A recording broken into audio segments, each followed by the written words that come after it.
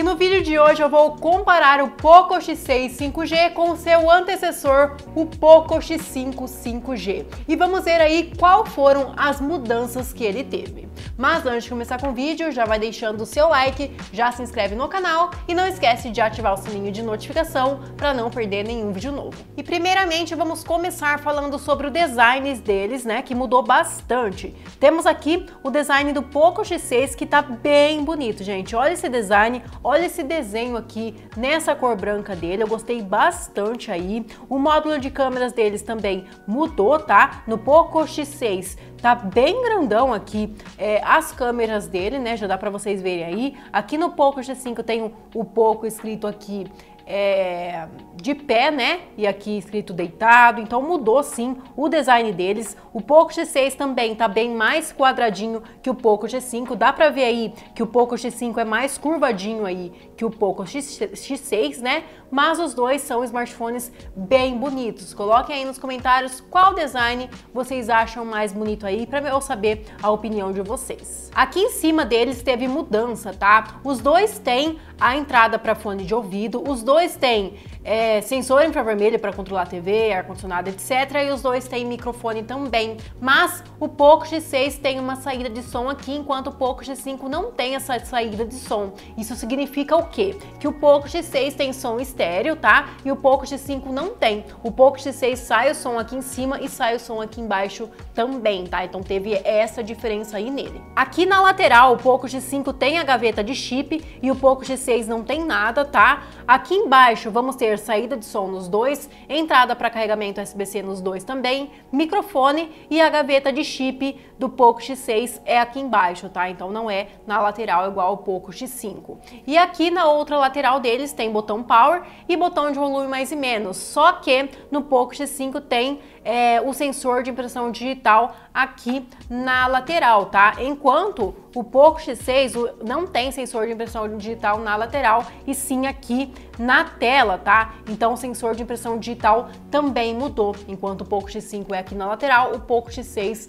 é na tela. E é um sensor de impressão digital que funciona muito bem, tá? Desbloqueia bem rapidinho, tá? E não tem falha, somente se você colocar o dedo errado, etc. Mas não tem falha não.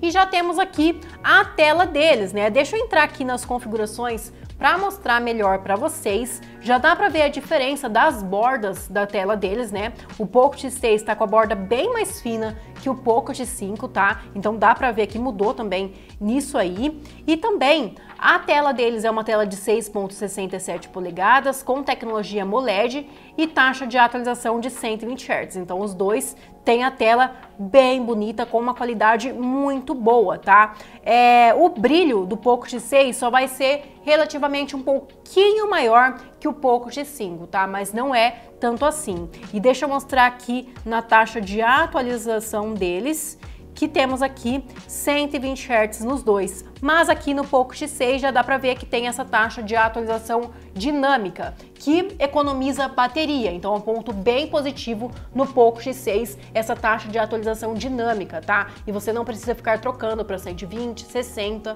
Então, de acordo com o que você está utilizando, ele troca sozinho. E isso economiza bateria sim. Então, o Poco X5 não tem essa opção de taxa de atualização dinâmica. E em relação à bateria deles, o Poco X5 tem uma bateria de 5.000 mAh, enquanto o Poco X6 tem uma bateria de 5.100 mAh. Não mudou muita coisa, mas mudou sim, tá? Então tá relativamente maior do Poco X6. E o carregador deles também mudou. O Poco X5 tem um carregador de 33 watts, enquanto o Poco X6 tem um carregador de 67 watts na caixinha, tá? Então vai carregar bem mais rápido essa bateria dele. Enquanto o Poco X5 vai carregar em torno de uma hora aí, o Poco X6 vai carregar em torno de 40 minutos, por aí, tá? Então vai carregar bem mais rápido a bateria do Poco X6. E também teve uma mudança na capinha deles. O Poco X6 agora tem essa capinha aqui, que não é transparente, né? É uma capinha fumê, uma capinha escura, tá? Enquanto o Poco X5 vinha com essas capinhas transparentes aqui,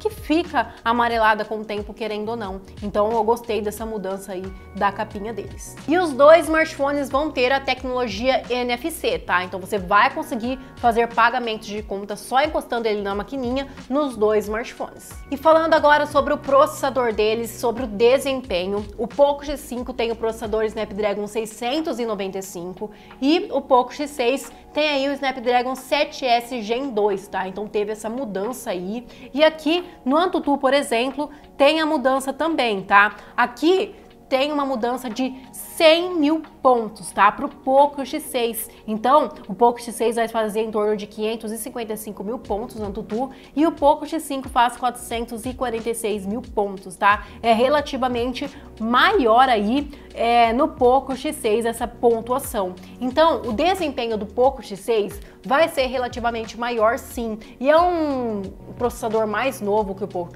o Poco X5, tá? Então, a autonomia de bateria do Poco X6 vai ser melhor também, tá? Então o Poco X6 vai ter relativamente melhor aí o seu desempenho. Mas é claro que não é tanto assim, não há uma diferença gritante, tá? Porque os dois smartphones tem processadores muito bons e você não vai ter problema nenhum em relação ao desempenho de nenhum deles, tá? Mas o Poco X6 vai ter um desempenho aí relativamente melhor sim. E a versão aí mais básica do Poco X5 é 6 GB de RAM e 128 GB de armazenamento. E o Poco X6, a versão mais básica é 8 GB e 256 de armazenamento. Então, é, melhorou bastante a quantidade de RAM e a quantidade de armazenamento também. E é claro que eu vou deixar o link dos dois smartphones na descrição do vídeo para você conferir os valores deles. E agora vamos falar sobre as câmeras deles, tá? O Poco X5 tem uma câmera principal traseira de 48 megapixels, câmera ultra-wide de 8,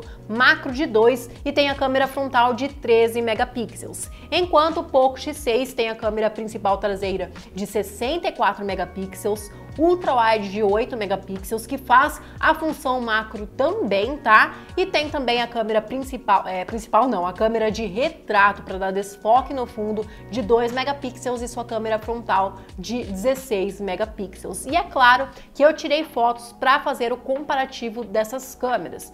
E eu quero que vocês coloquem aí nos comentários qual dos dois você acha que se saiu melhor? Na minha opinião, teve uma melhora muito boa aí no Poco X6, tá? Então, é, a qualidade da foto do Poco X6 está muito boa, a nitidez está bastante legal também, o HDR, mas é claro que os dois smartphones tiram fotos ótimas com qualidade bem legal. Mas coloquem aí nos comentários qual dos dois você achou melhor, que eu quero saber aí a sua opinião. E teve mudança também nas gravações deles. O Poco X6 faz gravações em 4K, enquanto o Poco X5 não consegue fazer gravações em 4K, somente a 1080p. Então esse foi o comparativo do Poco X5 e o Poco X6. Eu espero que você tenha gostado do vídeo, espero que eu tenha conseguido ajudar você. E se gostou do vídeo, deixe seu like, se inscreve no canal e não esquece de ativar o sininho de notificação para não perder nenhum vídeo novo. E não esquece também que o link dos dois smartphones vão estar na descrição do vídeo. Agora corre me seguir lá no Instagram que tá aparecendo aqui embaixo. Até o próximo vídeo.